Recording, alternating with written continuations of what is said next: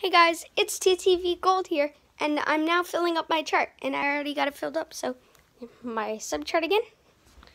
And at 40 subs, I will be being pied in the face. At 50 subs, I will be getting mayo on my head. At 60 subs, 60 subs, I will be getting Hershey syrup squirted on me. At 70 subs, I will be sitting in a bucket of ice. 70 subs? Wait.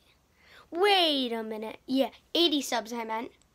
I will be sitting in an uh um a bucket with water and ice. 90 subs, I'll be cracking an egg on my head.